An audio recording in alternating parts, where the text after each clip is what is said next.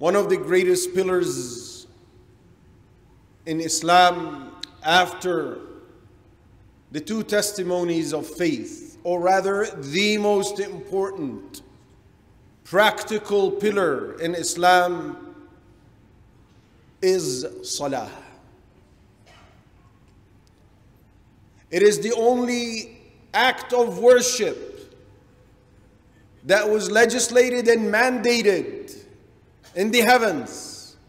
When the Prophet ﷺ went on the famous journey of Al Isra and Al Mi'raj, when he was taken to Jerusalem and then ascended to the heavens, it was up there that Allah Azza wa Jal legislated Salah. Only to tell the Muslim Ummah how important this act of worship and this pillar is in the scale of Allah. It is the only act of worship that was made a criterion differentiating between belief and disbelief. In the book of Imam Muslim, the Prophet ﷺ said, the differentiating factor between the person being a polytheist and a disbeliever and faith is him abandoning salah. And amongst all the prayers, from the five daily prayers, one of the most important is Salatul Fajr, the dawn prayer. And you will notice in the texts following that there are many texts that speak about Salatul Fajr alone. And in other cases, it addresses more than salah, one salah, Salatul Asr and Fajr, Salatul Isha and Fajr, but Salatul Fajr is always a common denominator in the text, only to reflect its importance in Islam. As a matter of fact, it was a gauge through which the companions used to assess the person. Ibn Umar radiallahu anhu said, whenever a person would frequently be missed in Salatul Fajr and Salatul Isha, we would start doubting him. Why? Because for them, no one missed out on Salat al Fajr and Isha because it was a sign of hypocrisy. For them, it was a gauge to assess the person's faith and commitment to Islam. This is how important it is. And Allah Azza wa Jal gave in return abundant rewards for those who adhere to it all the time. The Prophet ﷺ told us that adhering to Salatul Fajr is a protection against being thrown in the fire of hell. In the book of Muslim, the Prophet ﷺ said, No one who continuously prays Salatul Fajr and Salatul Asr will ever be thrown in the fire. And the one who prays it is also promised to be admitted into Jannah, be deserving to be admitted into Jannah. In the book of Muslim,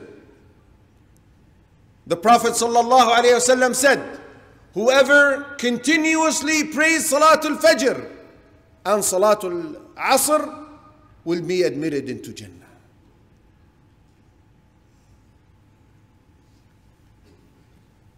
We face a lot of problems. We have a lot of enemies. The, the most vicious of all is shaitan, as well as devils of humans, as we've spoken in different uh, incidents. The devils are from jinn and from humans. Shayateen insi wal jinn. The Prophet ﷺ said, and this is also reported by Muslim, whoever prays Salatul Fajr will be under the protection of Allah. Imagine if the head of any state you live in sends you a message saying that if you do this, my intelligence, my police forces, my army, the special forces of the country will all be guarding you throughout the day. No one will be able to touch you. How secured would you feel? And to Allah belongs the loftiest of examples. When Allah is uh, the one who's protecting me and you, what sort of or type of reassurance would we have? And how secured would we feel? In the book of an Imam Muslim, the Prophet ﷺ said, Whoever prays Salatul Fajr in the masjid with the jama'ah, with the congregation, it would be recorded for him as if he has prayed Qiyam the entire night. The entire night is, you'll get that reward. And in a full night of Qiyamul Layl for attending Salatul Fajr in the masjid. A very important note for the sisters here. Whenever there's a text addressing men about things that they do with regards to Salah, then women are rewarded more. Why is that? Because there is this reward for men, but we have a text in which the Prophet ﷺ tells women that their prayer in their home is higher in reward, is more rewarding. So they will get that and more because they adhered and prayed in their homes as instructed by the Prophet. ﷺ one of the uh, greatest rewards for any good deed a person can get is the following. In the book of Imam Muslim, the Prophet ﷺ was sitting with the companions one night and it was a full moon. He ﷺ addressed the companions saying, On the day of judgment, you will be enabled to see Allah. And nothing will prevent you, nothing will hinder your uh, vision. Just as you can clearly see this full moon. And then he gave them a means, making them deserving of this great reward. So he said, So if you can avoid missing Salatul Fajr and Asr, then never miss it. Then never miss it.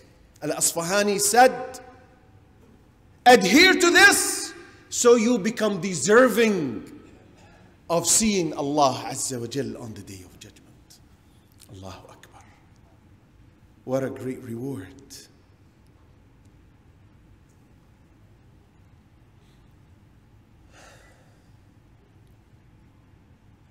Subhanallah, it is astonishing how simple it is to attain some of these great rewards and yet, how indifferent many people are with regards to this reward. You want to see how true this statement I'm saying is? When you walk to Salatul Fajr or drive, notice how empty the roads are.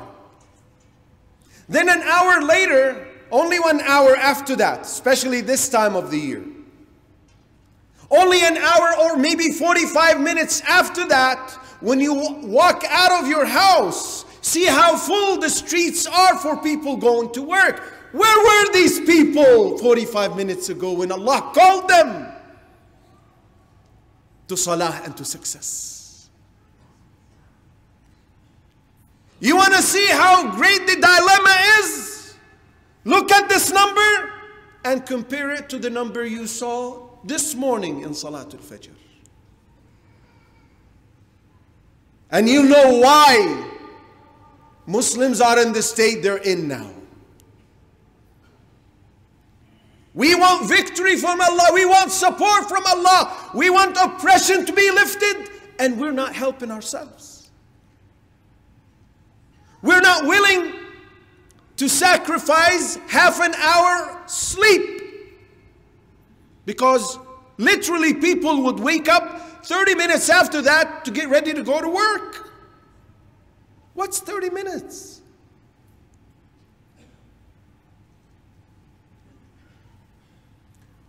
I conclude with this in the book of uh, Imam Ibn Majah,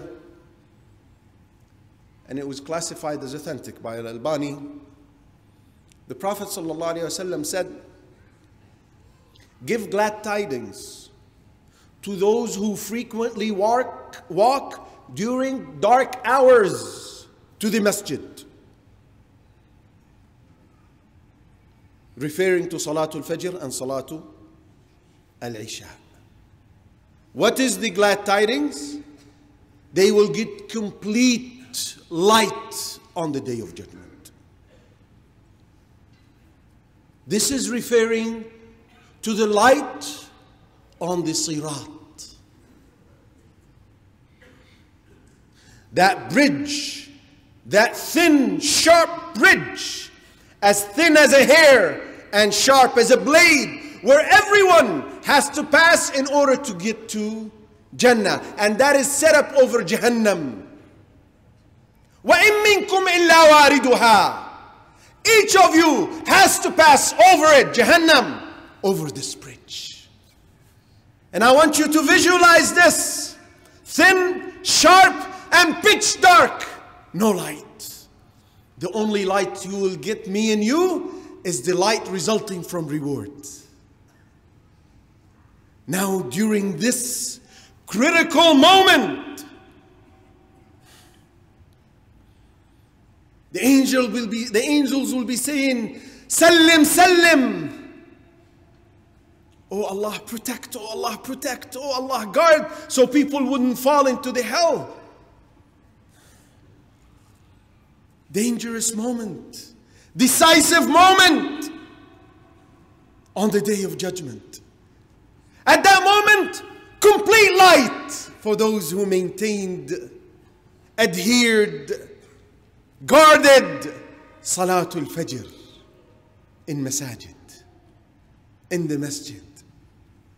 Isn't this worth working for?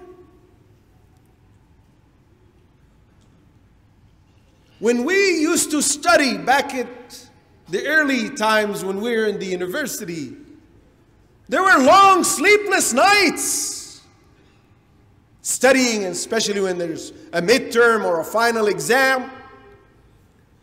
You would hardly sleep. Why? Because you want to pass and make a good grade and then graduate so you can work and get married and make money. Well, Jannah is much more deserving than a paper you will have thinking that it's a source of sustenance, whilst in fact it is Allah who provides. Just like all obligations that Allah Azza mandated and commanded us to adhere to, Allah gives us incentives to motivate us, but at the same time, He gives us warnings to scare us from falling short and weakening and giving in to our desires and the whispers of the devil. Of these warnings regarding Salatul Fajr, in the book of Al Bukhari, The Prophet ﷺ one day was informing the companions of a dream he saw. And as you know, revelations to the Prophet ﷺ, wahi, one of the forms it came to him was through dreams. So he told them that I saw a dream. It's a long narration, but the part pertaining Salatul Fajr, he said, I saw a man standing holding a rock and another man lying down. And this man standing up would raise that big rock in his hand and smash the head of that person lying down. And it would roll and then he would go pick it up. By the time he returns to him his head is back to normal again. And he would do that continuously continuously. So i asked he said sallallahu alaihi wasallam who's this man?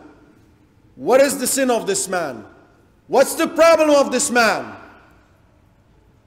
he was told this is a person who used to abandon the mandatory salah and not act upon the Quran. A man who did not act upon the Quran and abandoned the mandatory salah. Ibn Battal, when explaining this hadith, said this mandatory salah in this narration is referring to Salatul Fajr. He used to abandon sleep through. Rather, the, the text saying he used to, used to sleep through the mandatory salah. Now, this is going to be his punishment in the grave. From the time he is put in his grave until the day of resurrection. If we were threatened that someone would slap us on the face, just a slap on the face for a year, that would be severe punishment. Imagine someone's head being smashed continuously. For Allah knows how many thousands of years to come. We don't know. That's for those who die now. Imagine those who died few hundred years ago. And the Prophet ﷺ said, I was sent, me in the hour this close. And he was sent more than 1400 years ago. So we don't know when the hour is for someone to be punished this severe punishment until the day of judgment in his grave. That's terrifying. That's scary. That's worth working against. Now, this is in his, in his grave. In this dunya, he will be humiliated by the devil. In the book of Muslim, the Prophet was informed about a man who slept this until the day broke. Sheikh Al Uthaymeen said, commenting on this term, this last part, until the day broke, he said, he missed Salatul Fajr. What did the Prophet ﷺ say about this man? He said, This is a person whom the devil urinated in his ear. You see how humiliating this is, how disgusting and disgraceful this is. And finally, it is a sign of hypocrisy, as the Prophet ﷺ said, and this is reported by Muslim. He said, the heaviest two prayers for a hypocrite are Salatul Fajr and Salatul Isha. The heaviest on his heart. He feels burdened to pray these prayers. That's why Ibn Mas'ud, and this is also reported by Muslim, said, only a known hypocrite, known to them, with his conduct, and behavior. Only a known hypocrite used to miss out these salahs. There's nothing worth missing Salatul Fajr for absolutely nothing. Al Harith radiallahu anhu got married. And the following morning, he got ready and walked out of his house after his wedding night. Walked out of his house and went to the masjid to pray Salatul Jama'ah, Fajr. So some people said to him, You're newlywed, you just got married last night. You're leaving your wife and coming to, to the masjid. He said, By Allah, a woman for the sake of whom the man would abandon Salat al Fajr in Jama'ah is a source of evil. Now, let's pause and think. He's talking about one case, but staying out with guys, staying out, staying up late on your computer or your smartphone, whatever the reason is, socializing, what's worth missing out Salatul Fajr for? Nothing. And I'll conclude with this real life story that happened in one of the Muslim countries. A young boy, age six, seven, first grade, second grade. In the class, the teacher spoke about the virtues of Salah and the virtue of Salatul Jama'ah and particularly Salatul Fajr. So the boy longed to do that, but he was unfortunate because his father was not a praying person. So every morning he would wake up for Salat al Fajr and would start crying. Why? He can't walk out at this age out of his house to go to, go to the masjid. His parents are sleeping. It's too dark outside. Dangerous for a child this, this young. And he would just sit at the window watching until one day he noticed an old man going to the masjid and going back from the masjid, walking in front of their house, passing by their house back and forth. So he decided to do something, was very creative, unlike very many adults. He decided to sneak out of the house, follow this old man, without him noticing, because he was the grandfather of one of his friends, one of the neighbors. So he didn't want him to notice, so he wouldn't inform his parents, and thus they would prevent him from going to Salatul Fajr. So he would go sneak out when he sees him, walk behind him until he reached the masjid, would pray and then sneak again, sneak out and walk behind him until he reached the house. He would just get into the house and the man would go on to his business. And this continued for a while, and then suddenly the man disappeared. This grandfather of his friend disappeared. So he asked and discovered that the man died. And he started crying so hard to the point that it attracted his father's attention. He said, Son, this is neither a relative nor a close friend. Why are you crying so hard? He said, I wished you died and not him. So the father was shocked. This is a young child. Why would he say something like this? His feelings were hurt. His father deprives him daily from this. And this man who died was the means for him to realize these rewards he heard at class. He said, Son, why? Why would you say such an evil thing about your father? So he told him the story. And it was a turning point for the father who started crying and pledged to be the one who would take his son daily to the masjid. Brothers, adhering to the commands of Allah Azza wa Jal is an honor. in itself. Plus, it is highly rewarding. And finally, it's a protection against the wrath and punishment of Allah. Salatul Fajr gives life and it illuminates the face. It brightens the heart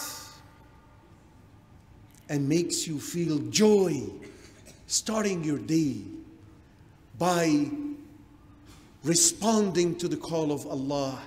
حي على الصلاة حي على الفلاح الصلاة خير من النوم So let's hasten to success.